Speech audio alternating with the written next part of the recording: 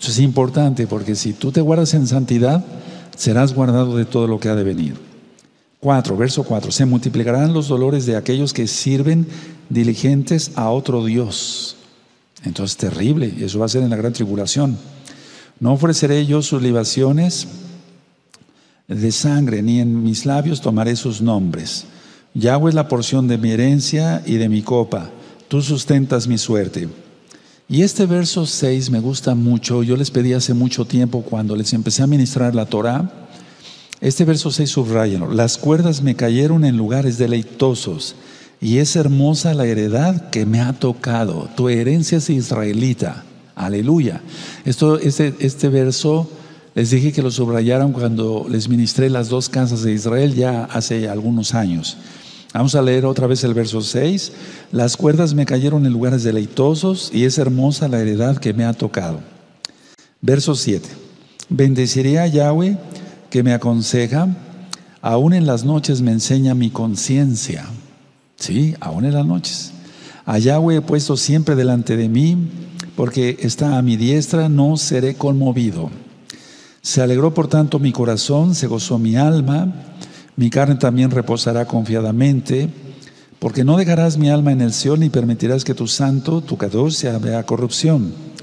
Me mostrarás la senda de la vida, en tu presencia hay plenitud de gozo, delicias a tu diestra para siempre. Bendito es Yahshua Mashiach. Este es el salmo del día de hoy.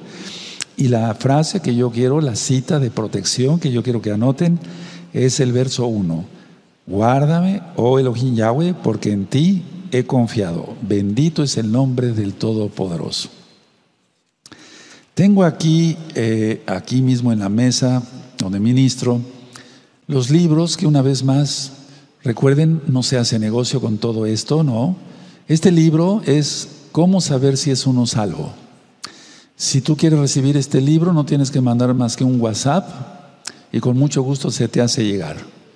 No se peca porque no se transgrede el Shabbat porque no estamos vendiendo ni comprando, estamos dando la palabra que es para eso es el Shabbat. ¿Cómo saber si es uno salvo? Porque sí hay formas de saber si es uno salvo. Este otro libro es el libro de liberación demoníaca. Todo tiene citas de la Biblia, todo está basado a la Biblia, no son mis ideas, son las palabras de Yahweh mismo. Liberación. Este otro libro es Pasos para ser un talmid, un discípulo de Yahshua Hamashiach. Pasos para ser un discípulo de Yahshua Hamashiach, porque muchos nuevos hermanos dicen, bueno, yo ya creí, y también hermanas, yo ya creí, Roe, ahora qué hay que hacer? Aquí explico todo, aquí explico todo según la Biblia. Otro libro que es hermoso, digo, porque está sacado de la misma Biblia. ¿Quién es Yahshua Hamashiach? ¿Quién es Yahshua Hamashiach? Él es el Padre Eterno.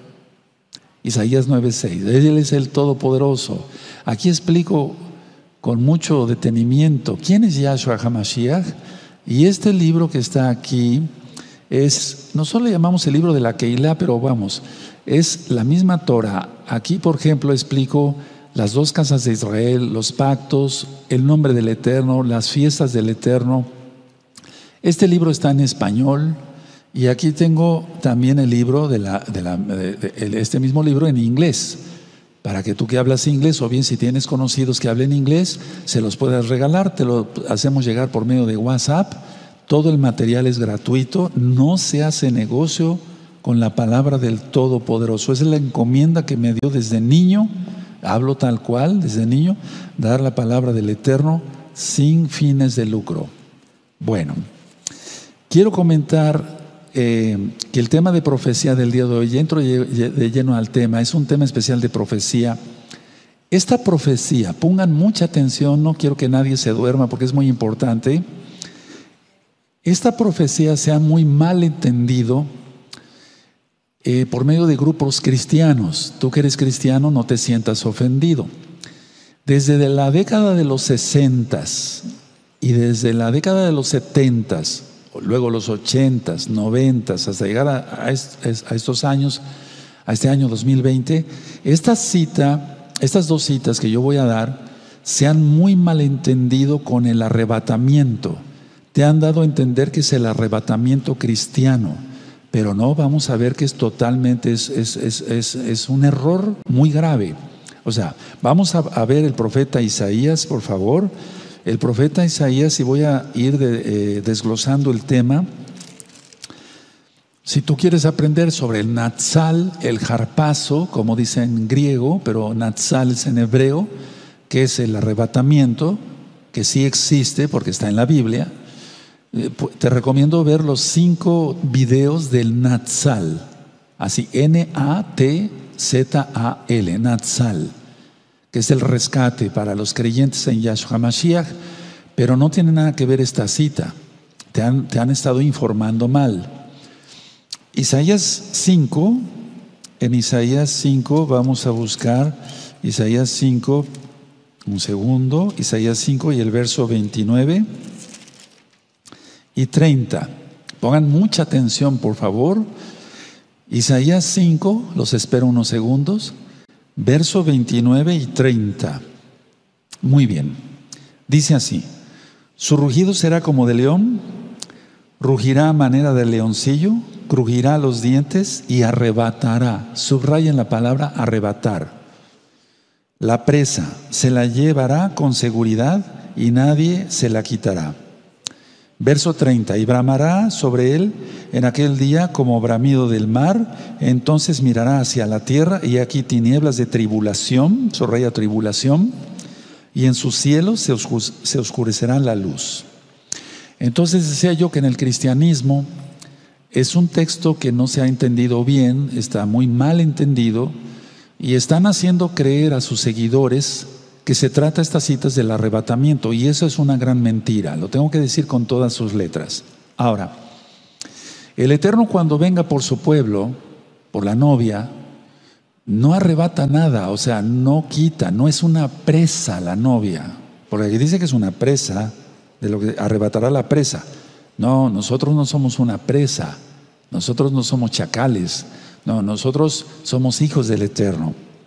Entonces, y aquí dan a entender que en el verso 30 eh, ya la gente estará casi casi en las nubes flotando y que van a ver la tierra y va a haber tinieblas porque es tribulación. Pero no, no tiene nada que ver eso. Vamos a verlo con cuidado.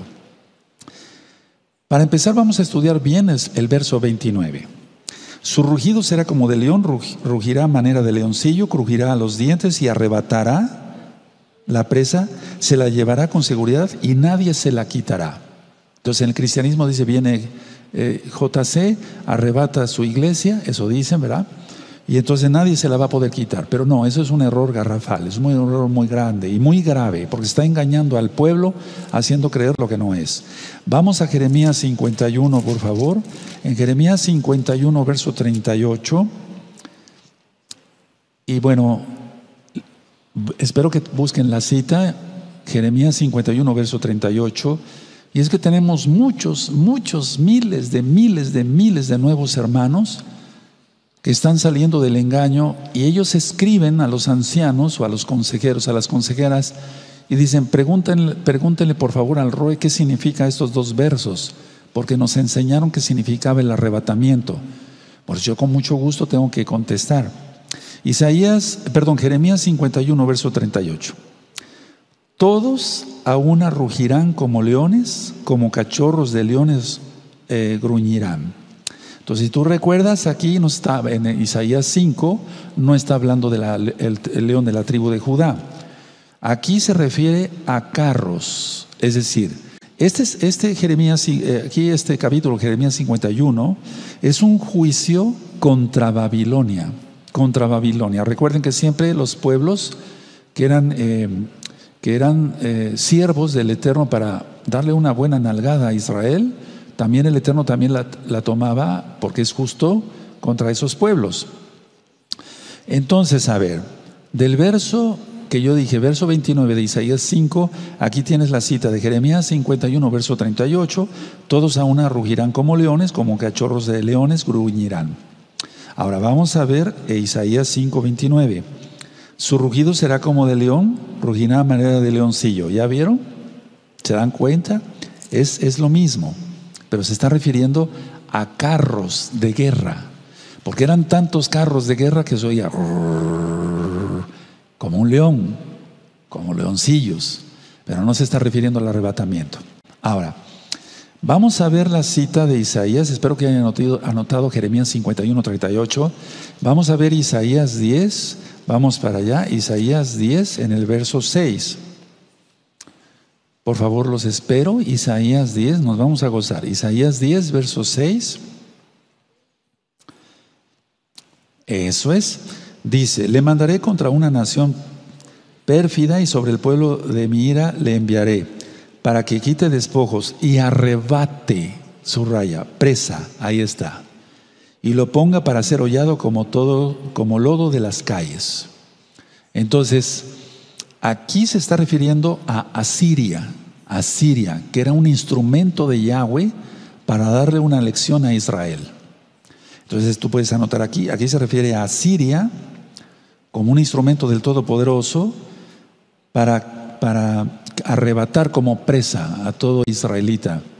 Entonces lo voy a volver a leer, Isaías 10, verso 6, le mandaré contra una nación pérfida y sobre el pueblo de mi ira le enviaré para que quite despojos y arrebate presa y la ponga para ser hollado como lodo de las calles. Entonces es Asiria.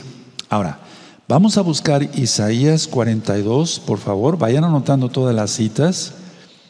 Vamos a Isaías 42. Los espero unos segundos. Y vamos a buscar el verso 22. Los espero unos segundos. Buscan Isaías 42, verso 22. Amén. Dice así, Isaías 42, verso 22. Mas este es pueblo saqueado y pisoteado, todos ellos atrapados en cavernas y escondidos en cárceles, son puestos para despojo y no hay quien libre. Por favor, subrayen, y no hay quien libre. Despojados y no hay quien diga restituir, y no hay quien libre. Entonces, vamos a ir otra vez, eh, por favor, quiero que subrayen, y no hay quien libre, y espero que hayas anotado, vuelvo a repetir las citas, Jeremías 51, verso 38. Isaías 10, verso 6. Isaías 42, verso 22. Ahora, de este Isaías 42, verso 22, yo lo que sí les puedo decir es que Israel no aprendía la disciplina. No aprendía la disciplina. Es como sucedió hace mucho tiempo cuando la congregación estaba abierta. Había gente que se, le ponía, eh, en disciplina, en lugar de crecer, se ponía más rebelde. Así le pasó a Israel y por eso mandó a los asirios, a los babilonios, etcétera, etcétera, etcétera. Bueno, entonces vamos a leer ahora otra vez Isaías 5, verso 29. Su rugido será como de león, ahora ya le entiendes, rugirá a manera de leoncillo, ahora ya le entiendes que son carros de fuego, eh, perdón, carros de guerra, que no se refiere al león de la tribu de Judá, quien es Yahshua HaMashiach, crujirá los dientes y arrebatará la presa, porque se está refiriendo al pueblo de Israel que era rebelde no se está refiriendo a la Keilah, que va a arrebatar el Eterno. Se la llevará con seguridad y nadie se la quitará. Ahora ya entiendes, estos tres versos están muy claros. Ahora vamos a ver el verso 30 y ahorita voy a ministrar. En el verso 30 dice de Isaías 5, y bramará sobre él en aquel día como bravido del mar, subraya el mar, entonces mirará hacia la tierra, subraya en tierra, y aquí tinieblas de tribulación, subrayen, y en su cielo se oscurecerá la luz, también pueden subrayarlo porque es tinieblas. Voy a volver a leer el 30. Y bramará sobre él en aquel día como bravío del mar, entonces mirará hacia la tierra y hay tinieblas de tribulación y en su cielo se oscurecerá la luz. Para nada se está refiriendo que a la gente que, que vaya a ser rescatada, va a ver la tierra, la tierra, el globo terráqueo en tribulación y va a haber tinieblas etcétera, etcétera, oscurecida la luz. No, no se está refiriendo a eso. Se está refiriendo a que los juicios del Eterno iban a venir tan fuertes contra Eretz Israel, la tierra de Israel, primero contra Samaria y después contra Judea, o Judá, sí, Judea. Y entonces que iba a haber tanta tierra y tanto incendio que no se iba a ver. Y es lo que pasó con la destrucción de los templos. Bueno, ahora, de este verso 30, eh, amados hermanos, amadas hermanas, amigos, amigas, tú que eres cristiano, ahorita se te van a abrir los ojos. Gracias a Yahshua Mashiach. Vamos a ver Isaías 17, por favor. Isaías 17, vamos para allá en Isaías 17 y en el verso 12. Los espero unos segundos, por favor. Isaías 17, adelantito, verso 12. Perfecto. Entonces esto es juicio sobre Israel. Si quieres ponerlo en tus apuntes o ahí en tu misma Biblia, juicios o juicio, bueno, pero fueron varios, juicios sobre Israel. Isaías 17, verso 12, hay multitud de muchos pueblos que harán ruido como estruendo del mar, ahí lo tienes, la palabra mar, y murmullo de naciones que harán alboroto como bravido de muchas aguas, que es el mar. En la Biblia cuando se refiere a mar, yam, en hebreo, quiere decir multitud de gente o el mar como tal, el mar físico, pero cuando está hablando de pueblos, se refiere a multitud de gente, y ese es el mar. Voy a volver a repetir Isaías 17, verso 10.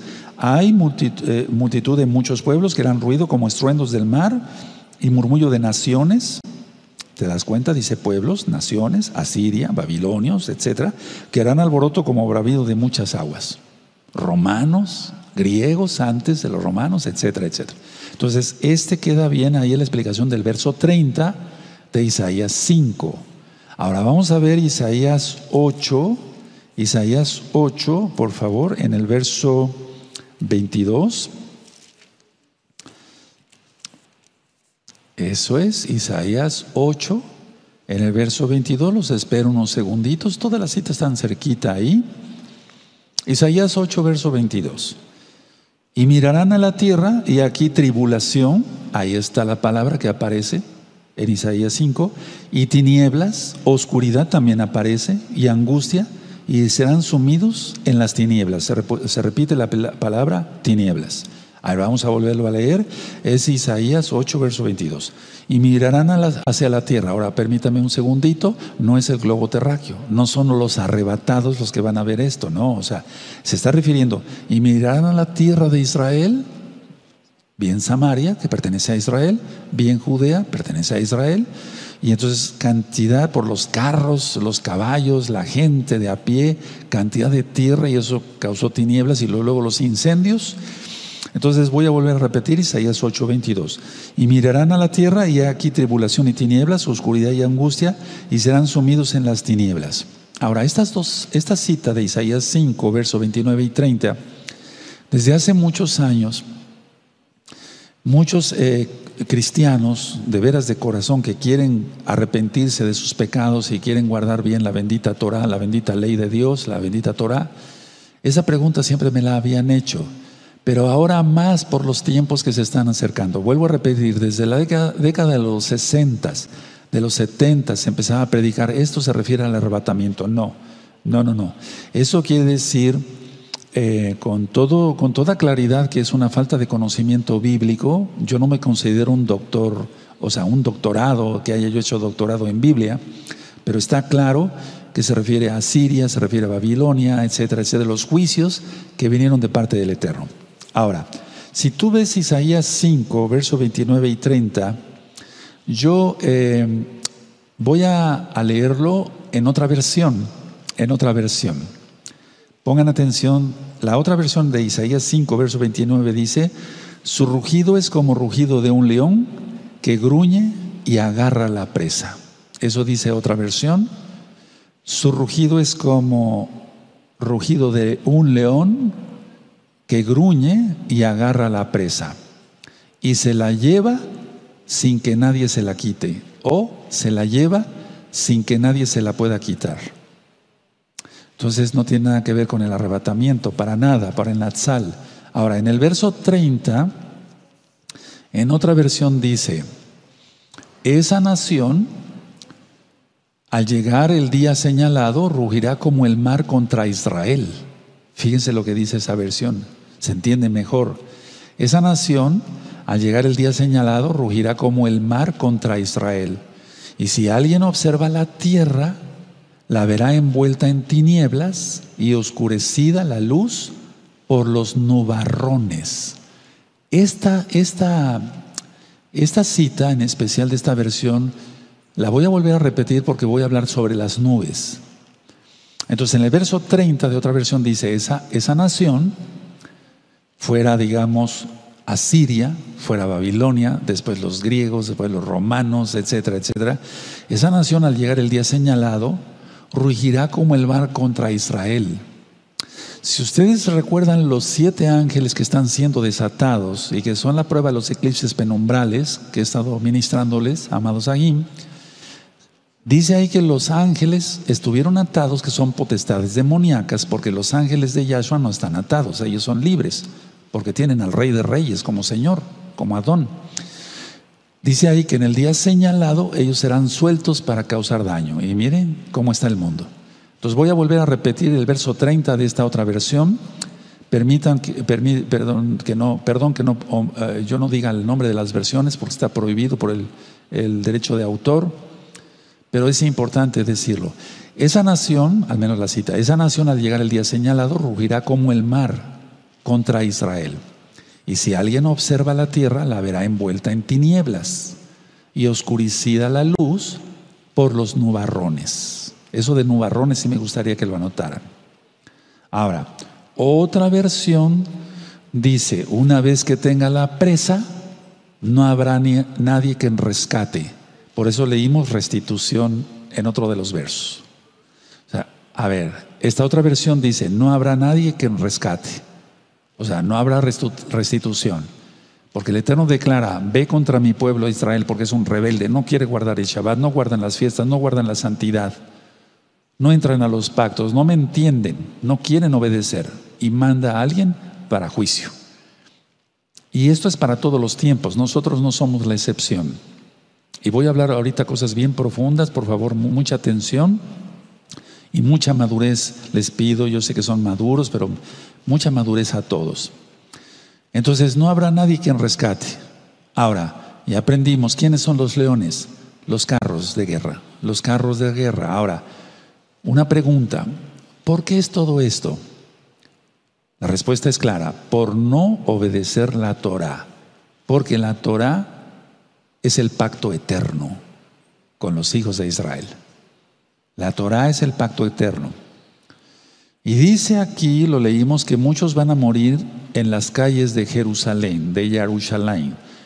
Y recuerden lo que he ministrado, amados hermanos, eh, hermanas, amigos, amigas que quieren ya ser hermanos en Yahshua Mashiach. Recuerden que los profetas profetizaron para su tiempo, para el tiempo mucho después y para este tiempo. Y eso se va a cumplir también ahora. Con el anti-Mashiach. Tú lo conociste como anticristo. Entonces, sabes, a ver, muchos van a morir en las calles de Jerusalén. Ahora, voy a desglosar Isaías 5. Miren, en Isaías 5, verso 25, cuando dice su mano extendida, es igual a que el mismo Yahweh ejecuta el juicio. Ahorita vamos a leerlo y ahorita les repito esta enseñanza. Isaías 5, verso 25. Mucha atención. Por esta causa se encendió el furor de Yahweh contra su pueblo y extendió contra él su mano. Subraya y extendió, por favor, contra él su mano y le hirió y se estremecieron los montes y sus cadáveres fueron arrojados en medio de las calles y eso se va a volver a repetir.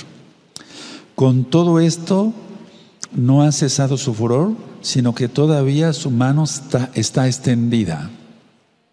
Es decir, aquí el profeta Isaías, Isaíahu, él está diciendo, él va a ejecutar este juicio, pero su mano todavía está extendida hasta estos tiempos.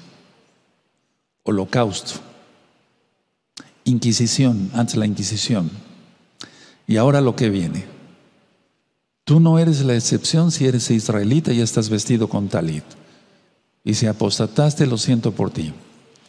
Entonces, a ver, su mano está extendida, quiere decir que él mismo ejecuta el juicio. El mismo Yahweh ejecuta el juicio, aunque sea un ejército pagano, y en este caso el antimashia, que por eso dije que iba a hablar de profecía con todos sus ejércitos, Og, Magog, Mesach, Tubal, Togarma, etcétera, etcétera, que ahorita viene una tercera guerra mundial, más no la batalla de Armagedón. De todas maneras, la tercera guerra mundial, pues ¿quién creen que la va a armar, como decimos? El antimashiach. y después la parará para que quede como el Mesías, pero es un Mesías falso, lógico. Entonces, aquí la mano extendida de Yahweh, él mismo destruirá, porque destruyó acá, devastará, porque devastó acá. Entonces es el, él es Yahweh es, es el juez justo. Ahora, miren, uno, estas citas no se refieren al arrebatamiento. Dos, no es tampoco, amados Arjim, hermanos, hermanas, no es la batalla de Armagedón, porque Armagedón, en Armagedón, vendrá Yahshua HaMashiach para parar esa guerra. Esta tercera guerra mundial que viene la va a parar el antimashiach, no Yahshua, el antimashiach. Lógico, todo con el permiso del Abacados, del Padre Eterno. Estas guerras que estamos viendo acá, los juicios de Asiria, de Babilonia y demás, todo esto eh, no se está refiriendo el profeta a, a Mr. Meod, perdóneme. Entonces, a ver, para que quede claro, eh, la mano extendida es que todavía el juicio sigue, el juicio sigue, porque la casa de Israel y la casa de Judá no quieren obedecer la bendita Torah. Entonces, Armagedón va a ser parada la guerra por Yahshua. La tercera guerra mundial la va a parar el antimashiach. Y esta que estamos viendo aquí no la paró Yahshua. Él permitió que fuera destruido Jerusalén. ¿O no? Todo en cenizas, porque la gente era idólatra. En lugar de adorar a Yahweh, habían metido ídolos al templo, al Bet Hamidash, y ya lo expliqué en otros temas de las rectas finales, tenían ídolos en sus propias casas. Ahora, mucha atención lo que voy a ministrar. Los asirios, y por eso de eso podíamos hablar dos o tres o cuatro o cinco temas, los asirios eran los más malditos de todos. Repito, los asirios eran los más malditos de todos. Atención lo que voy a decir porque hay cosas que no están escritas en la Biblia. No le voy a quitar ni, ni le voy a agregar a la palabra del Eterno. Pero voy a decir lo que dice la historia y compagina muy bien con todo esto. Mucha atención, por favor, porque dije que iba a hablar de profecía y de profecía estoy hablando. El Codes está hablando a través mío. Dije yo que los asirios eran los más malditos porque, uno, ellos cortaban el pene, una emasculación, cortaban el pene de, sus, de los que agarraban. Y dos, una vez desangrados, eh, o prácticamente todavía vivos, los decapitaban. El pene lo ponían donde, ya acostado el cuerpo, lo ponían donde iba la cabeza. Y la cabeza la ponían entre las rodillas. O sea, una, por así decirlo, una vergüenza, o sea, trataban una, una aberración, una causar totalmente pena terrible, no solamente a Israel, ojo, atención, sino a los pueblos a los cuales ellos conquistaban. Eran malditos. En otra ocasión ya dije que formaban a las mujeres embarazadas y un soldado asirio pasaba con una espada, iba abriendo el vientre de todas las mujeres embarazadas. Lógico, caían los bebés, los embriones o los fetos y la mujer también caía. O sea, eran los más malditos que te puedas imaginar. Entonces, eh, todo esto es importante que lo conozcamos porque ese mismo tipo de gente, atención para todos y toma las cosas en serio, de arrepentirte, de apartarte totalmente de los pecados. Porque ese mismo tipo de gente ya la hay ahora. Nunca ha dejado de haber, pero ya la hay ahora en mayor cantidad, porque están llenos de demonios. Y atención, y esto es en serio, hacer arrepentimiento total porque esa misma gente es la que va a causar la persecución cuando se revele el antimachía como lo que es, el verdadero demonio encarnado. Entonces tú no tienes que jugar con eso. Hasta ahorita, permítame seguir avanzando en la administración. Hasta ahorita mucha gente, ja, ja, ja, jo, jo, jo, escupe la Torah, empiezan a trabajar en Shabbat, etc. Atención, al tiempo, al tiempo, al tiempo. Entonces esa gente era maldita. Ahora, vimos, bueno, en la historia bíblica, ¿verdad? Y también en la historia universal, primero causó problemas Egipto, Asiria, más tarde Babilonia, griegos, romanos, etcétera, etcétera.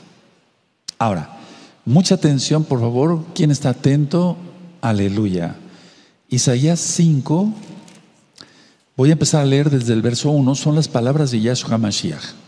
Porque en Mateo 21:33, en Marcos 12:1 y Lucas 29 habla de una viña, y la viña es Israel, los hijos de Israel.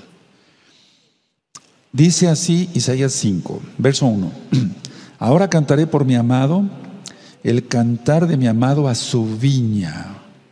Tenía mi amado una viña en una ladera fértil. Y ahí te remite a las palabras de Yahshua Mashiach. La había cercado, dice el, el 2, y despedregado, o sea, le quitó las piedras y plantado de vides escogidas, o escogió vides escogidas había edificado en medio de, ella una torre y echó también en ella un lagar. Esperaba que diese uvas y dio uvas silvestres. Esto ya está ministrado. Ahora pues, vecinos de Jerusalén y varones de Judá, juzgad ahora entre mí y mi viña. Verso 4. ¿Qué más se podía hacer a mi viña que yo no haya hecho en ella? Como esperando yo que diese uvas, ha dado uvas silvestres. Atención, el Eterno dio todo. Yahshua dio todo, hasta su propia sangre, hasta la última gota de sangre por Israel. Pero en lugar de dar buenos frutos, está dando uvas silvestres, que son una porquería. No me estoy refiriendo a ti, ni a ti, ni a ti, no, estoy hablando a nivel general. O sea, la gente no quiere guardar Torah, no quiere guardar la santidad. Por eso el eterno Yahshua va a pisar el lagar de la ira de Elohim Yahweh. Eso ya vimos que eh, si tú quieres escuchar los audios de Apocalipsis o los videos en el canal de YouTube Shalom 132, son videos ya viejitos, o sea, ya de mucho tiempo, por eso no hay la claridad ni el sonido en la, en la administración, pero es el contenido lo que interesa. Entonces, sigo continuando aquí, perdón, continúo en el verso 5. Os mostraré pues ahora lo que haré yo a mi viña le quitaré su vallado, o sea, su protección. Imagínate que Yahweh te quita la protección, el Eterno no lo quiera. Le quitaré su vallado y será consumida, aportillará su cerca y será hollada. Ahorita voy a explicar. Entonces, a ver, vienen momentos bien difíciles. El Eterno me permitió ministrar muchos años la bendita Torah con la Keilah abierta. Dancen y gócense, etcétera, etcétera, muchos sin ganas, etcétera, etcétera, pero el juicio viene de todas maneras. Espero que hayas hecho arrepentimiento ya. Pero hay gente que de por sí ya está reprobada, o sea, porque no quiso nada con el Eterno. Más mal que uvas silvestres. Entonces el, el Eterno quita su protección, dice a sus ángeles, ya no guardes a este, ya no guardes a esta, vete a este que sí me ama. Eso es lo que está pasando y lo que va a pasar aún. Entonces, no se trata del arrebatamiento. ¿Cuál arrebatamiento? Es juicio lo que está lanzando el Eterno. No se trata de arrebatamiento. Verso 6. Haré que quede desierta, y es que quedó desierta, porque Yahshua ya dijo, Jerusalén, Jerusalén, quise recogerte como la gallina recoge a sus polluelos, pero no quisiste. Por tanto, vendrán, te sitiarán y tu casa será dejada desierta. Cuando llegó el imperio otomano, ellos cobraban, decía yo en varias enseñanzas anteriores, impuestos hasta por los árboles. Y entonces eh, prefirieron cortar los árboles para no pagar impuestos porque estaban aquí hasta aquí con los impuestos y por eso se volvió, de por sí es desierto, se volvió más desierto. Ahora ha recobrado su belleza Israel, pero hay mucha desobediencia, Tel Aviv, la capital de Israel, es la capital gay del mundo, es una vergüenza. Por eso en Apocalipsis 11 dice Jerusalén, Sodoma y Gomorra. Tremendo, eso está feo. Dice aquí el 6, haré que quede desierta, no será podada ni cavada, y crecerán el cardo y los espinos, o sea, maldición como en Génesis. Espinos y cardos producirán la tierra. Por eso Yahshua Mashiach le pusieron la corona de espinas porque él llevó la maldición hasta en su cabecita, en su cabeza. Terrible. Y aún las nubes subrayen nubes, es muy importante que subrayen nubes. Mandaré que no derramen lluvia sobre ella. Ahora, esto está, esto está terrible. Voy a seguir leyendo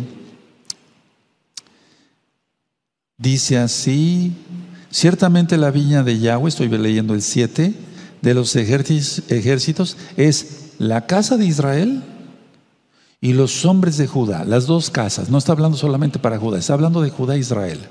Por eso los asirios llegaron, hicieron pedazos la ciudad de Laquis. Después iban sobre Judá, o sea, Jerusalén. Pero el rey Ezequías oró se postró a Yahweh y entonces libró Jerusalén. Es increíble, pero después fueron desobedientes y de todas maneras fue destruido el templo, incendiada toda Jerusalén. Entonces dice así, siete, ciertamente la viña de Yahweh de los ejércitos es la casa de Israel y los hombres de Judá, planta deliciosa suya, esperaba juicio y aquí vileza, justicia y aquí clamor. Ay de los de los que juntan casa a casa. Por favor, subrayen el 8. Eso es lo que hacía Jezabel. Ella, eh, o sea, Acab quería la viña de Nabot. Hay de los que juntan casa a casa y añade heredad a heredad hasta ocuparlo todo. ¿Habitaréis vosotros solos en medio de la tierra? Si tú todavía te estás peleando una herencia, déjala. Ya dije que las herencias son malditas. ¿O te vas a llevar los ladrillos al cielo? Me doy a entender, hay gente que se pelea y busca abogados y eso porque el hermano le quitó la casa, etc. Eso no importa ya.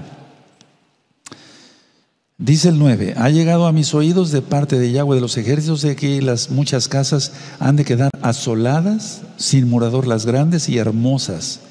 Porque en Israel el profeta Amós, si tú recuerdas cuando yo ministré todo eso, el profeta Amós decía, se, se vivía con un lujo en Samaria con mucho lujo, pero tenían ídolos. desde Jeroboam, que puso los becerros en, Dan y hasta Beersheba. Dice el verso 10, y diez yugadas de viña producirán un vato y un homer de semilla producirá un efa. Atención, y esto es para lo que viene. Ahorita lo voy a explicar, por favor, paso a paso. Verso 11. Hay de los que se levantan de mañana para seguir la embriaguez, que se están hasta la noche, hasta que el vino los enciende. 12. Y en sus banquetes hay arpas, hijuelas, tamboriles, flautas y vino, y no miran la obra de Yahweh, ni consideran la obra de sus manos. 13. Hay que subrayarlo. Por tanto, mi pueblo fue llevado cautivo porque no tuvo conocimiento de la Torah, de la Torah, y su gloria pereció de hambre y su multitud se secó de sed. Es lo que viene ahora. 14. Por eso ensanchó su interior el Seol o sea, abrió su, boca más grande el infierno y sin medida extendió su boca y allá descenderá la gloria de ellos. O sea, todo lo que ellos disfrutaban, la embriaguez, eh, si, tú, si antes alguien guardaba el Shabbat lo quebranta, el infierno va a abrir más su boca porque va a ser una colecta, o sea, va a ser una cosecha el infierno como nunca. Eso ya lo leímos en Apocalipsis 6, cuando salga el jinete de la guerra. Por eso ensanchó el 14 su interior el Seol y sin medida extendió su boca y allá descenderá la gloria de ellos, o sea, y su multitud y su Fausto y el que en él se regocijaba, jajaja, jojojo, la Torah no, eh, yo soy, hago lo que quiero, etcétera, etcétera. 15. Y el hombre será humillado y el varón será abatido y serán bajados los ojos de los altivos. A mí me gustaría que subrayaran y serán bajados los ojos de los altivos. En el lenguaje corporal, que hay un, curso que yo di aquí, en el, eh, está en el canal de YouTube Shalom 132, el altivo ve así, hacia arriba y baja los ojos como diciendo, son fuchi, cualquier cosa. Pero él, él, y serán bajados los ojos de los altivos, él va a hacer que los orgullosos se vuelvan nada. Verso 16, pero Yahweh de los ejércitos será exaltado en juicio, aleluya, y el Elohim santo Kadosh será santificado, exaltado con justicia, aleluya. 17, por favor, subrayenlo. Esto es para ti que eres un santo y que tienes miedo con todo lo que está pasando del COVID-19 y esto y el otro y la vacuna. Dice el 17, y los corderos serán apacentados según su costumbre y extraños devorarán los campos desolados de los ricos, de los orgullosos, de los soberbios. El Eterno es un juez justo, no tienes por qué temer, tú que eres un santo, tú que amas a Yahweh, que guardas tus ojos para no ver cosa mala, que no extiendes tu mano para recibir cohecho. Eso dice Isaías 33. Aquí el 18. Hay de los que traen la iniquidad con cuerdas de vanidad y el pecado como con coyundas de carreta. Ahorita lo voy a, lo voy a explicar. 19. Los cuales dicen, venga ya, apresúrese su obra y veamos, acérquense, acérquese y ven el consejo del Santo de Israel para que lo sepamos. Subrayen este 19, ahorita voy a explicar. Y eso es lo que está pasando ahora. Verso 20, tú te lo sabes de memoria. Hay de los que a lo malo dicen bueno y a lo bueno malo que hacen de la luz tinieblas y de las tinieblas luz que ponen lo amargo por dulce y lo dulce por amargo. Ahorita lo voy a ministrar. Hay de los sabios, el verso 21, en sus propios ojos y de los que son prudentes delante de sí mismos. Hay de los que son valientes, verso 22, para beber vino y hombres fuertes para mezclar bebida. Hay, eh, perdón, los que justifican al impío mediante cohecho y al justo quitan su derecho. Terrible esto. Verso 24. Por tanto, como la lengua del fuego consume el rastrojo y la llama devora la paja, así será su raíz como pobredumbre y su flor se desvanecerá como polvo. Por favor, subrayen todo lo que voy a decir, eh, voy a leer, porque desecharon la Torah de Yahweh de los ejércitos y abominación y abominaron, perdón, la palabra del Santo de Israel. Voy a volver a repetir esta última frase porque desecharon la Torah de Yahweh, de los ejércitos, el Shabbat, las fiestas, etc. Y abominaron la palabra del Santo de Israel. Por esta causa se encendió el furor de Yahweh contra su pueblo y extendió contra él su mano, ya lo ministré, y le hirió y se estremecieron los montes, ahorita voy a explicar, y sus cadáveres fueron arrojados en medio de las calles, es lo que viene también. Con todo esto no ha cesado su furor porque viene lo peor ahora. El holocausto fueron cosquillas con lo que viene, sino que todavía su mano será, está extendida porque viene todavía juicio. 26. Alzará pendón a naciones, lo voy a ministrar, lejanas, y silbará, lo voy a ministrar al que está en el extremo de la tierra, y aquí que vendrá pronto y velozmente. 27. No habrá entre ellos cansado, ni quien tropiece, ninguno se dormirá, ni le tomará sueño. Esto también ha sido malinterpretado por la iglesia cristiana. A ninguno se le desatará el cinto de los lomos, ni se le romperá la correa de sus sandalias. Muchos piensan que se refiere aquí que el arrebatamiento es que ya no tendrán sueño. No, no. Se está refiriendo a que Él va a traer a las naciones paganas y que el Eterno va a permitir que no le venga sueño a los, a los malvados para que le den una paliza a Israel. Ahora se entiende mejor, ¿verdad? Ni se le romperá la correa de sus sandalias. 28. Sus saetas estarán afiladas y todos sus arcos eh, entensados, o sea, ya listos. Los cascos de sus caballos parecerán como de pedernal y las ruedas de sus carros como torbellino, es lo que viene con la luna en Sagitario, en el, en el arquero, ya lo ministré para el 5 de julio. Y ahí está el 29 y 30. Miren qué diferencia. Su rugido será como de león, rugirá manera de leoncillo, los carros de guerra, crujirá los dientes y arrebatará la presa, o sea, a Israel, se la llevará con seguridad y nadie se la quitará. ¿Qué tiene que ver esto con el arrebatamiento? Nada, absolutamente nada. Verso 30, y bramará sobre él en aquel día como bravido del mar multitud de gentes, entonces mirará hacia la tierra de Israel, y aquí tinieblas de tribulación, la angustia de Jacob, y en su cielo se oscurecerá la luz. Para nada tiene que ver con el arrebatamiento, por favor. Yo no hago negocio con los videos del canal, no monetizo los videos. Hagan llegar este video lo más pronto posible a todos los hermanos y hermanas de gozo y paz. Y a todos los que tienes como familiares cristianos que han sido ministrados falsamente con estas dos citas, diciendo que se refiere al arrebatamiento. No tiene que ver absolutamente nada. Voy a hacer un resumen no determinado todavía. Entonces Yahshua toma, no toma, él dio la idea, pues, porque eh, es el mismo Ruach desde Yahshua Mashiach. Tuve una viña, la cuidé, la planté, le puse esto, una torre, vides escogidas y no dio fruto.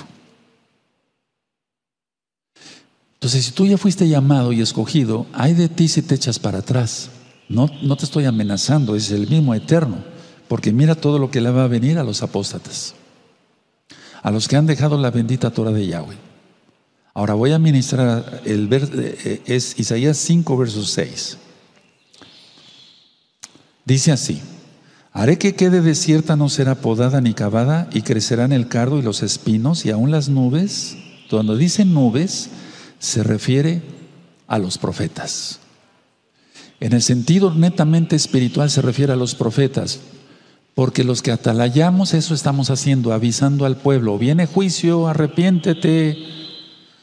Se refiere a, profetas, o sea, los profetas reciben la profecía y la enseñamos a los hijos de Israel. Los profetas recibimos la profecía de Yahweh y lo damos a conocer a los hijos de Israel. Ahora, en este mismo canal Shalom 132 está la carta de Judas y en la página gozoypaz.mx está en audio. Entonces, cuando yo ministré, vamos para allá la carta de Judas, yo dije que la carta de Judas es totalmente dirigida a apóstatas, o sea, está dirigida más bien al pueblo para que aprenda que si se junta con un apóstata, no le, no le queda nada. Y atención por el tema que voy a dar el día de mañana a las 4 de la tarde, hacia arriba, le titulé, primeramente el Eterno Yahweh. Entonces aquí Judas, Yehudá, está diciendo eh, muchas cosas, pero quiero llevarlos directamente. Bueno, voy a explicarlo primero. A ver, muchos dicen, por ejemplo, no, el pastor está loco, etcétera, etcétera, el rey palacio está loco, etcétera. Entonces hacen un grupito. Pero esa nube no tiene agua, porque no recibe profecía. Para empezar, causaron división por rebelión, otro pecado, mentiras, hipocresía, etcétera, etcétera. Pero esto que estoy hablando de Israel a nivel mundial, no solamente de gozo y paz. Entonces la gente dice, sí, ¿verdad? Aquí su nombre no es Yahshua, es Yeshua, ¿verdad? Pues yo sigo a este, ¿no? Pero se dan cuenta que después no tiene frutos, porque no tiene a Yahweh. Miren, el verso 12, Judas 12, nada más tiene un capítulo. Estos son manchas en vuestros ágapes, que comiendo impúdicamente con vosotros se apacientan a sí mismos, nubes sin agua, subrayalo. Eso ya lo ministré en la carta de Judas. Nubes sin agua porque el agua es la Torah. Entonces te van a dar cualquier otra enseñanza como la cábala, esoterismo eh, judío, misticismo judío, pero no te van a dar la palabra de Yahweh. Y la cita que no se, se, me olvidó en ese momento es Marcos 7:13, cuando dice Yahshua, ustedes invalidan la palabra de Elohim por guardar su tradición. Los mandamientos rabínicos, es Marcos 7:13. Cuando dije las preguntas y respuestas, ¿recuerdan, amados Sahim? Entonces voy a volver a leer el 12. Estos son manchas en vuestros ágapas que comiendo impúdicamente con vosotros se apacientan a sí mismos, nubes sin agua, llevadas de acá para allá por los vientos, árboles otoñales sin fruto, dos veces muertos y desarraigados. Y así si tú buscas la carta de Judas en el canal de YouTube Shalom 132, te vas a encontrar que son estrellas errantes, no tienen para dónde ir, etcétera, y acaba desbaratándose ese grupo Después bien quieren volver otra vez a gozo y paz a pesar de que está cerrado, pero ya no lo permito, porque vienen muy contaminados. Gozo y paz no salva a nadie, pero la salvación está en Yahshua. Y entonces la salvación no es que esté en gozo y paz, pero en Yahshua, eh, Yahshua está en gozo y paz. Sin duda, sin duda, porque yo siempre estoy ministrando, no hay un tema que yo no dé que hable yo sobre arrepentimiento arrepentimiento en arrepentimiento. Entonces, a ver, vamos otra vez a Isaías, amado Sahim, 5, por favor, en el verso 6. Isaías 5:6 dice, haré que quede desierta, no será podada ni cavada y crecerá en el cardo y los espinos, y aún a las nubes mandaré que no derramen lluvia sobre ella, o sea, no vendrán profetas. Eso fue lo que pasó de Malaquías, Malají, a Juan el Bautista, pasaron 400 años sin profeta. Israel pasó 400 años sin profeta, porque el Eterno mandaba a unos, por eso Yahshua Mashiach dijo, Jerusalén, Jerusalén, que matas a los profetas y apedreas a los que te son enviados. Y él mismo se puso como ejemplo. Después el dueño de la viña manda el hijo y lo matan. Pero él resucitó, Yahshua está vivo, bendito es su nombre. Ahora, del verso 8, aquí en Isaías verso 8, es, es Isaías 5, verso 8. Hay de los que juntan casa a casa y añaden heredad a heredad hasta ocuparlo todo. Eso te ha hecho tu hermano, ¿verdad? O hiciste tú antes, ya te arrepentiste y dejaste todo mejor.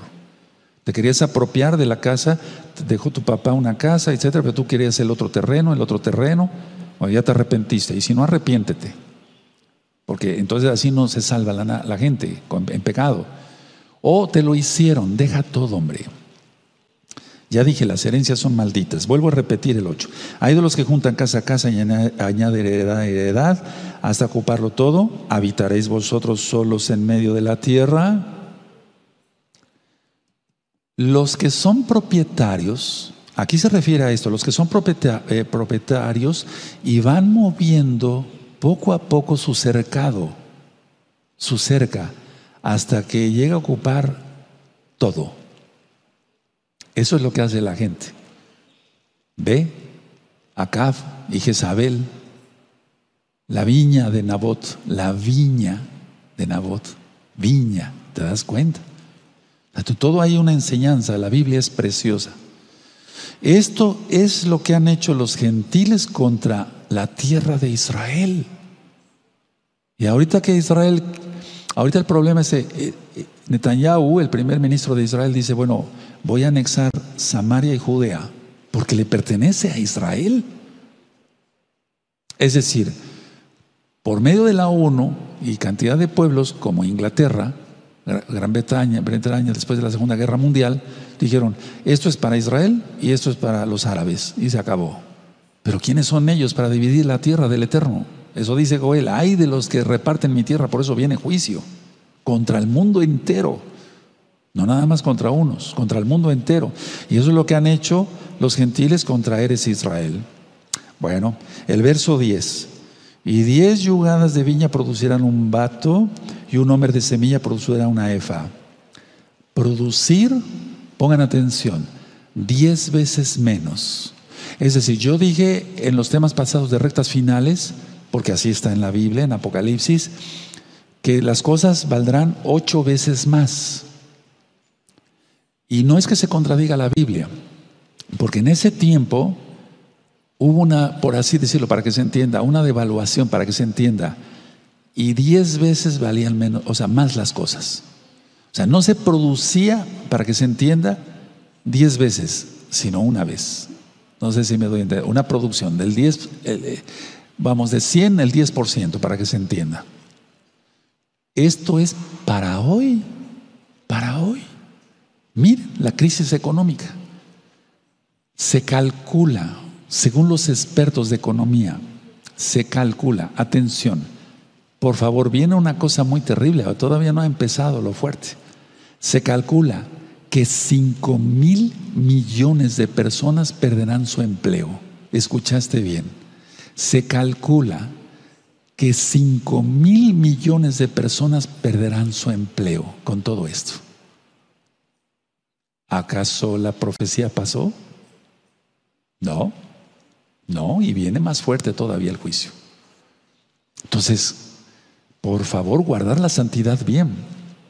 Ahora, el verso 14 de Isaías 5. Por eso ensanchó su interior el Seol y sin medida extendió su boca y allá descenderá la gloria de ellos y su multitud y su fausto y el que en él se regocijaba. Terrible.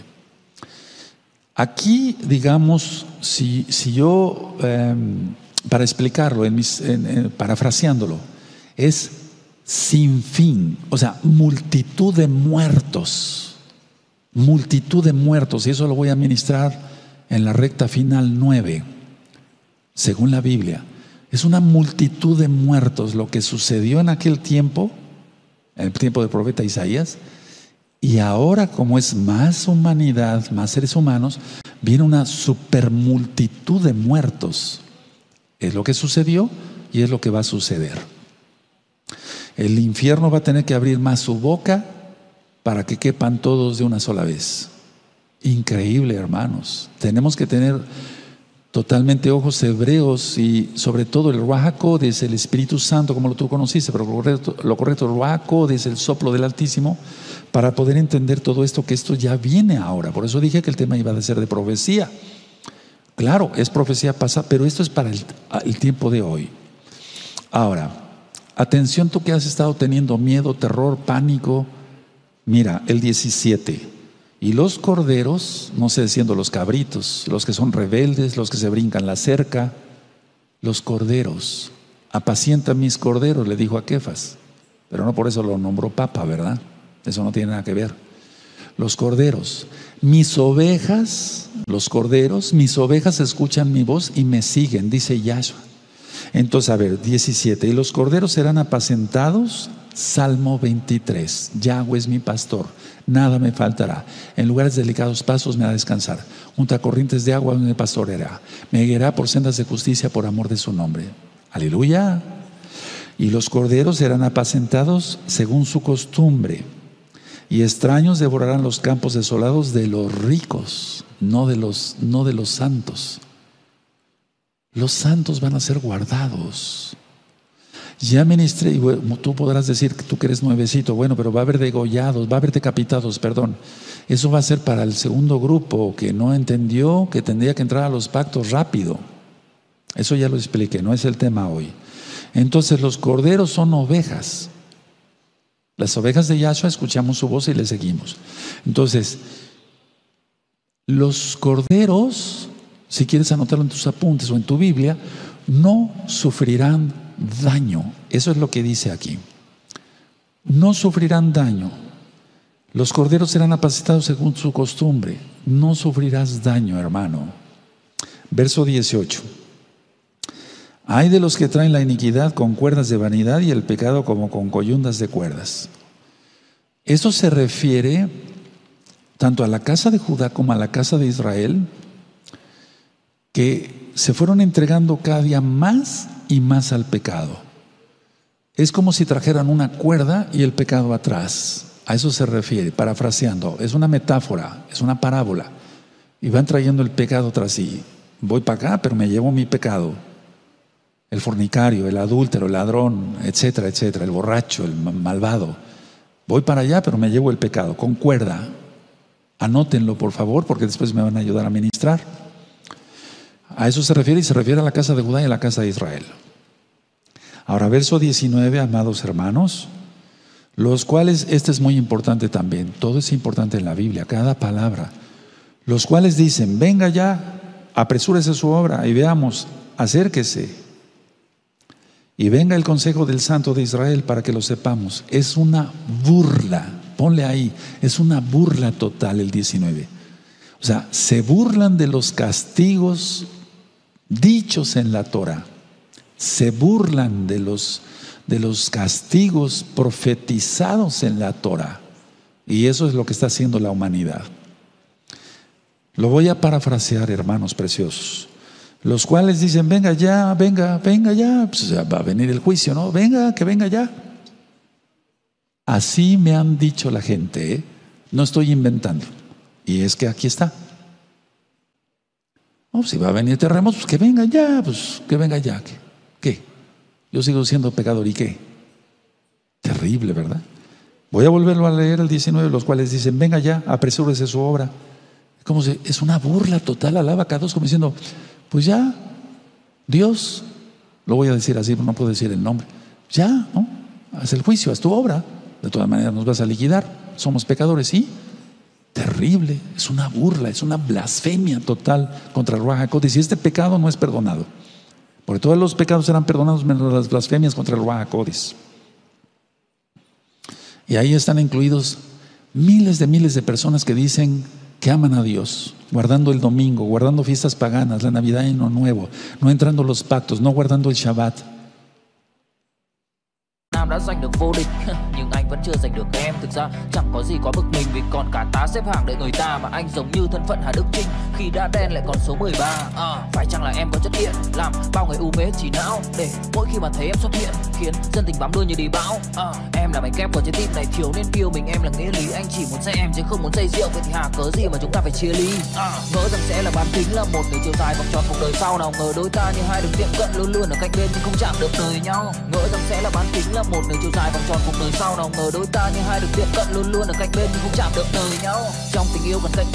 gì Porque ellos se burlan, dicen, no, pasa nada, no va a pasar nada. Es increíble. Cuidado, cuidado, es una burla total. Verso 20. Hay de los que lo malo dicen bueno y a lo bueno malo, que hacen de la luz tinieblas y de la tiniebla luz, para que, que ponen lo amargo por dulce, lo, lo perdón, lo dulce por amargo. El mal es amargo y esa es la idolatría en general. Cualquier tipo de idolatría. A eso se refiere aquí la palabra del Eterno. Y cuando dice el bien, dice aquí lo bueno, que hace eh, eh, el bien, entonces se está refiriendo a servir a Yahshua, Yahweh, a servirle a través de su bendita, con la Torah, servirle a los hermanos servirle a Él y servirle a los hermanos con la Torah. Entonces, el mal amargo se refiere a la idolatría en general. Y el bien o lo dulce, ¿te acuerdas? Salmo 19, la dulce es más que miel que la que destila del panal. Vean cómo todo, la suma de tu palabra es la verdad, dice el rey David en el Salmo, dice el Salmo 119. Ahora, verso 26. Ya, ya expliqué el 25. Dice así, alzará pendón a naciones lejanas y silbará al que esté en el extremo de la tierra y aquí que vendrá pronto y velozmente. No se refiere a Yahshua para arrebatar la iglesia cristiana, para nada. Aquí se refiere a esto, mire, cuando un ejército, porque eso se, lee mucho, eh, bueno, se aprende mucho en historia universal, siempre ha habido guerras inspiradas por el diablo, ¿no? Eh, cuando una nación, un ejército iba a invadir a otro, entonces levantaban pendón, levantaban la bandera, entonces el ejército avanzaba. Aquí a lo que se está refiriendo el profeta, gracias a Yahshua HaMashiach, su Rahakodes, su bendito espíritu, es que la nación pagana ni siquiera levante el estandarte, sino que lo levanta Yahweh y dice, avancen contra mi pueblo, denle una lección. No sé si me di a entender. Es importante esto, entonces, a ver. Voy a volver a leer el 26. Alzará pendón, ¿quién? Yahweh, porque su mano está extendida a naciones lejanas. No dice, pondré el garfio y te traeré. Esa es la batalla de Armagedón. Es el Eterno el que hace todo. Bendito es su nombre. Repito 26, alzará pendón a naciones lejanas y silbará. Bueno, los ejércitos eh, recientes y todavía de los 1800, una trompeta. En el ejército de Israel siempre el toque del shofar. Pero en, los, en los ejércitos de muchas naciones se utilizaba el caracol, como en los aztecas, por ejemplo. Eso es silbar. En este caso, el Eterno, Él no utiliza el shofar porque la gente pagana no conoce ese sonido. Si tú le preguntas qué es tequía, qué es terúa, etcétera, pues no te va a decir qué es eso, qué es el shofar para empezar. ¿Y por qué se toca? Y etcétera, etcétera. Bueno, pero aquí se refiere a que Él va a silbar. Y los traeré con un silbido. El silbido es espiritual. El silbido es espiritual y el Eterno llama, llama a la gente, en este caso pagana, para atacar a Israel. Entonces, cuando un ejército, decía yo, se levanta el pendón, es que tiene que avanzar hacia el, hacia el otro ejército enemigo. En este caso es Yahweh mismo el que levanta el pendón esto está tremendo, hermanos. Es una profecía. ¿Y cuál arrebatamiento? Por favor, es muy importante que tú lo mandes al mayor número de cristianos, porque mira, yo me he encontrado con cristianos auténticos, o sea, ellos todavía tienen el velo y, pero aman a Dios, lo voy a decir así. Pero ellos, muchos de ellos ahorita están naciendo y se conectan por miles gracias a Yahshua Mashiach. Mañana yo voy a tener dos videollamadas con muchos que son nuevecitos, salidos del cristianismo. Se les quitó la venda de los ojos, el Eterno les quitó la venda de los ojos. Hay que enviarles esto rápido, que no sean engañados. Ahora, vamos a Isaías tantito 8, 13. ¿Quién tiene que ser nuestro temor? Yahweh. En Isaías 8, 13 dice, a Yahweh de los ejércitos, a Él santificad, o sea, a Él exaltar, sea el vuestro temor y Él sea vuestro miedo.